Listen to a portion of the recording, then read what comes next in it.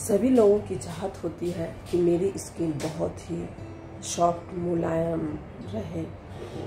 Skin काफ़ी shine करे और मेरा जो फेस है, वो बहुत ही अच्छा दिखे। हम जो फेस पैक बना रहे हैं, वो सभी के रसोई घरों में उपलब्ध होता है। तो आइए हम उसी चीज़ों से फेस पैक बनाते हैं। तो सबसे पहले हम एक चम्मच बेसन लेंगे।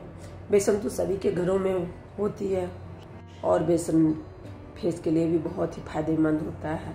और उसके साथ हम लेंगे एक चम्मच चावल का आटा।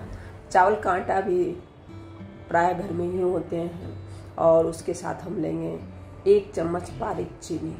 अगर आपके पास बारीक चीनी नहीं है तो आप चीनी को मिक्सी में पीस लें और उसे डाल दें। तो एक चम्मच हमने बारीक चीनी डाल दिए और कॉफ़ी पाउडर तो सभी के घरों में होते ही हैं। तो कॉफ़ी तो सभी को पीना पसंद हो, होता है।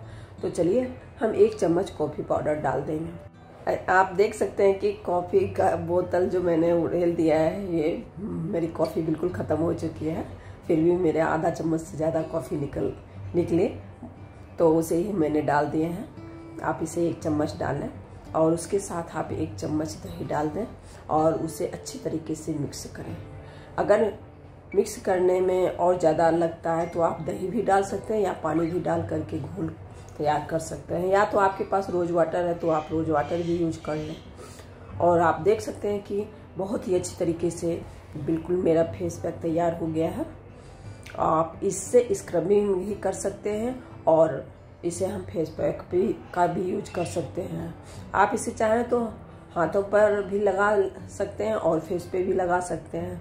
और फेस पे जब भी लगाएँ तो गर्दन को, के साथ ज़रूर करें, क्योंकि अगर फेस साफ़ हो जाएगा और गर्दन आप अगर नहीं करते नेक को क्लियर तो गर्दन, आपका नेक अलग दिखेगा और फेस अलग दिखेगा। इसलिए जब भी फेस पैक लगाएँ या ब्लीच लगाएँ, जो भी लगाएँ या फेशियल करें तो आप अपना नेक को ज़रूर साथ में लेकर चलें।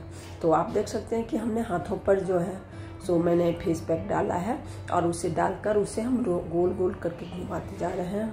आप इसी तरीके से फेस पर जब भी लगाएँ तो उसे इसी तरीके से हल्के हाथों से बिल्कुल मसाज दें।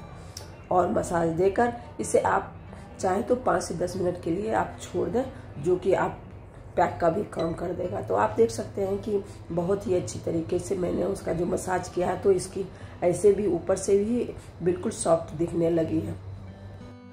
याद रखें कि आप जब भी फेस पे करें तो उसको बहुत ही टाइट हाथ से ना रगड़ें। और बिल्कुल ही सॉफ्ट हाथों से जब भी करें मसाज करें तो सॉफ्ट हाथों से करें।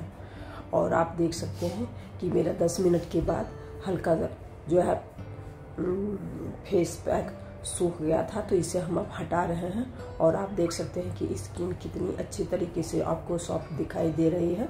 बिल्कुल, और साइन भी कर रहा है। तो इसी तरीके से आप फेस पे लगाएँ और इसे सप्ताह में आप दो से तीन दिन लगा सकते हैं और लगाने के बाद आप इसे पाँच से दस मिनट तक छोड़ दें, आपकी स्किन काफ़ी अच्छी हो जाएगी और बहुत ही साइन देगी। आप इसे बॉडी स्क्रबिंग में भी यूज़ कर सकते हैं और आपको अगर कहीं जाना हो तो आप इसे, इसका भी पाँच से दस मिनट तक फेस पैक लगा कर इसे आप हटा देंगे तो आपकी स्किन काफ़ी ग्लो करेगी। आपको ये फेस पैक अच्छी लगे तो लाइक और सब्सक्राइब ज़रूर करें। वीडियो देखने के लिए धन्यवाद।